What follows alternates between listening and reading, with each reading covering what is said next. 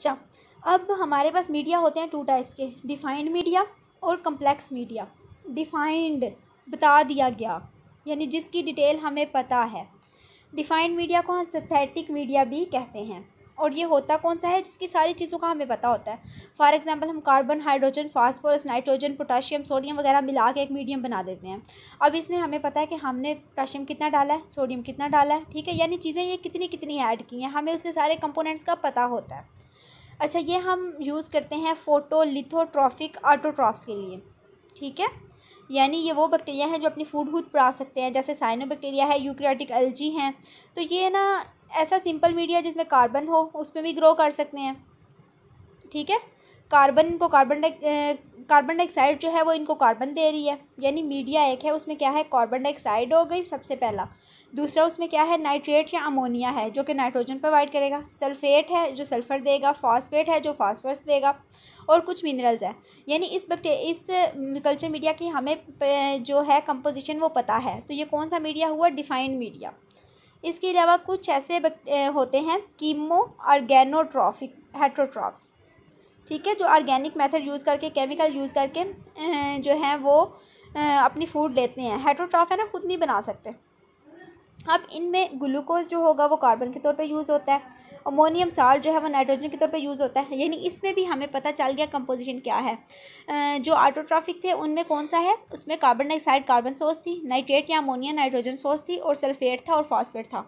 इसमें क्या है? ग्लूकोज कार्बन सोर्स है अमोनियम साल्ट जो है वो नाइट्रोजन सोर्स है। तो ये हमारे पास कौन सा मीडिया है? डिफाइंड मीडिया अब हम बात कर रहे हैं कम्प्लेक्स मीडिया की। कम्प्लेक्स का नाम क्या इंडिकेट कर रहा है कि ये समथिंग कम्प्लिकेटेड है। अच्छा अब ये ऐसा मीडिया है जिसमें कुछ ऐसे कंपोनेंट होते हैं, जिनकी केमिकल कंपोजिशन का हमें पता ही नहीं होता। यानी हमने वो कितने ऐड किए, ये हमें पता ही नहीं होता। केमिकल कंपोजिशन उनकी क्या है, ये हमें पता ही नहीं होता। और ये ज़्यादा यूज़फुल होता है as compare to defined media ठीक है? क्योंकि इसमें जो सिंगल मीडियम है ना, वो ही इतना रिच होता है कि वो एक से ज़्यादा माइक्रो ऑर्गेजम्स ग्रो कर सकता है। एक से ज़्यादा माइक्रो ऑर्गेजम्स की न्यूट्रिएंट रिक्वायरमेंट्स पूरी हो जाती हैं। ठीक है, इसलिए हम यूज़ली जो कम्प्लेक्स मीडिया है ना, इसी को यूज़ करते हैं। क्योंकि हमें बेसिकली पता ही नहीं होता कि हमारा जो माइक्रो ऑर्गेजम्स है उसको क्या क्या चाहिए। कुछ के बारे में तो पता है, लेकिन मोस्टली ऐसे माइक्रो ऑर्गेजम्स हैं जिनकी रिक्वायरमेंट्स का हमें पता ही नहीं। सो हम क्या करते हैं कम्प्लेक्स मीडिया यूज़ करते हैं, क्योंकि उसमें बहुत ज़्यादा न्यूट्रिएंट्स होते हैं। ठीक है अननोन कंपोजिशन के। तो हो सकता है कि वो हमारा जो डिज़ायर्ड बैक्टीरिया उसके लिए सूटेबल हूँ, और उसके अलावा किसी और माइक्रो ऑर्गेजम्स की ग्रोथ भी हो जाए। ठीक हो गया? अब अनडिफाइंड कंपोनेंट्स कौन कौन से हो सकते हैं? सबसे पहले तो होंगे पेप्टोन्स पेप्टोन्स क्या होते हैं? जब हम प्रोटीन का हाइड्रोलिस करते हैं ना तो हमारे पास पेप्टोन्स आते हैं। और ये मिलते कहाँ से हैं? मीट में पता प्रोटीन होती है कैजियन में, सोया मील में, जेलिटन में, ये सारी प्रोटीन सोर्सेज हैं। जब हम इनकी पार्शियल डाइजेशन करते हैं तो हमारे पास पेप्टोन्स आते हैं। और प्रोटीन किस से बनी होती हैं? कार्बन से, हाइड्रोजन से, नाइट्रोजन से, एनर्जी से। ये सारी चीज़ें किस कार्बन, हाइड्रोजन, नाइट्रोजन, एनर्जी हमें कहाँ से मिल रही है? पेप्टोन से। उसके बाद बीफ एक्सट्रैक्ट है और यीस्ट एक्सट्रैक्ट है। बीफ एक्सट्रैक्ट किसका होता है? लीन बीफ का, ठीक है? और यीस्ट जो है ब्रीवर्स यीस्ट जो है, वो यूज़ की जाती हैं। और बीफ एक्सट्रैक्ट में क्या क्या होता है? माइनो एसिड्स होते हैं पेप्टाइड्स होते हैं न्यूक्लियोटाइड्स होते हैं वाइटामिन होते हैं। और यीस्ट एक्सट्रैक्ट में क्या होता है? वाइटामिन बी होता है नाइट्रोजन और कार्बन होते हैं। ठीक है? तो अब ये देखें ना डिफरेंट हमारे पास कंपोनेंट्स आ गए हैं। अब हमें नहीं पता कि बैक्टीरिया ने कि कौन से कंपोनेंट्स उसको चाहिए। इसलिए हम उसको ग्रो करते हैं कम्प्लेक्स मीडिया पे, क्योंकि इसमें अनडिफाइंड कंपोजि केमिकल कंपोजिशन के बैक्टीरिया भी जो है वो सॉरी कंपोनेंट्स भी जो है, वो प्रेजेंट हैं। कौन से कॉमनली यूज़ मीडिया है? न्यूट्रिएंट ब्रॉथ शोरबा जो होता है। ट्रिप्टिक सोया ब्रॉथ जिसमें सोया हम यूज़ करते हैं। मैं कौन की एगर ये सॉलिड होता है। अच्छा अगर सॉलिड मीडियम हमें चाहिए माइक्रो ऑर्गेनिज्म की कल्टीवेशन के लिए। तो हम क्या करते हैं, जो लिक्विड होता है ना, उसको भी सॉलिडिफाई कर लेते हैं। क्या ऐड करते हैं उसमें? वन परसेंट से टू परसेंट एगर, या फिर one point five percent agar मैंने आपको बताया ना, ये सॉलिड सॉलिडिफाइड कल्चर मीडिया के तौर पे यूज़ की जाती है। अगर हमारे पास फॉर एग्जांपल एक न्यूट्रिएंट मीडिया है, ठीक है? उसको हमने सॉलिड करना है तो उसमें हम क्या ऐड करेंगे? वन से टू तक हम एगर ऐड कर सकते हैं, और मोस्टली इसकी यूज़ क्वान्टिटी क्या है? वन पॉइंट फाइव एगर है क्या एक्चुअली एगर सल्फ़र का एक पोलीमर है। जो किससे बना हुआ है? ग्लैक्टोज से, डी ग्लैक्टोज से, three, six anhydro L galactose से और डी ग्लूकारोनिक एसिड से। और रेड एलगी से हम एगर को एक्सट्रैक्ट करते हैं और ये बहुत ज़्यादा एक्सपेंसिव होता है।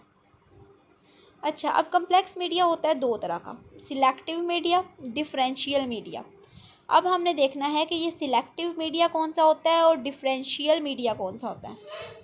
सिलेक्टिव मीडिया जो होता है ना सिलेक्टिव एक चीज़ को सिलेक्ट कर लेना। ये एक पर्टिकुलर माइक्रो ऑर्गेनिज्म को ग्रो करने देगा सिर्फ़। ठीक है? बाइल साल्ट है डाइस है ये क्रिस्टल वॉयलेट जो है, ठीक है? ये बेसिक डाइज हैं।